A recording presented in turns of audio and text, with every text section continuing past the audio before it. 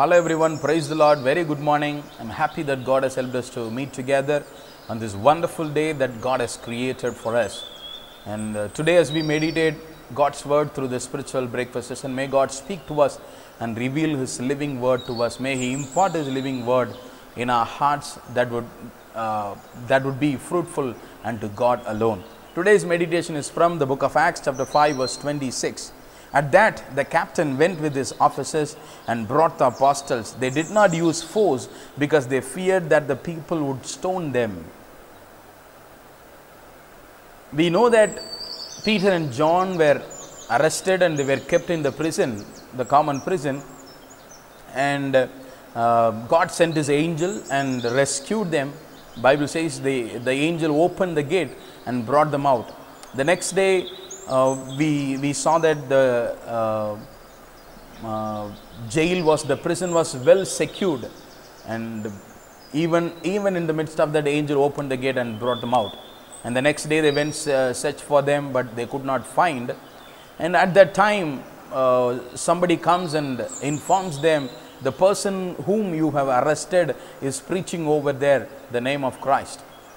So then this happens. At that, the captain went with his officers.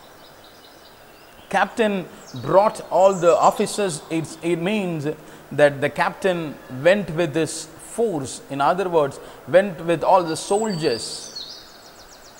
This captain of the army or the or the part of the soul or army camp, he he took the army men with him. He took his men with him, his officers with him to bring Peter and John to Sanhedrin. So guess what is happening?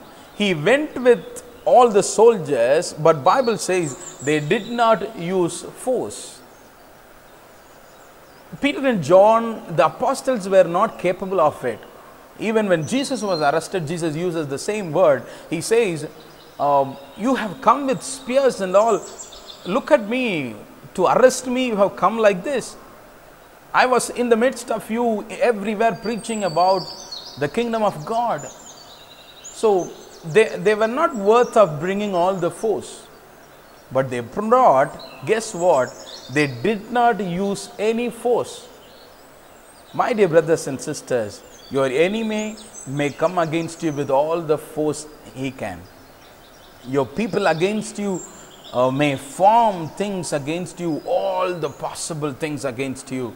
But remember, they cannot work with that. They cannot work with that. Guess what is happening? This captain goes with all the officers, but tells the apostles, Would you come and uh, speak to the authorities? So, this is, how it, this is how we can picture it. Imagine a group of company of policemen coming to your house we can say the striking force is coming in their vans and the policemen are getting down the van and they, they have surrendered your house. And the inspector is coming to your house and says uh, would you please come and uh, come to the police station that uh, for just an inquiry? How would it be imagine?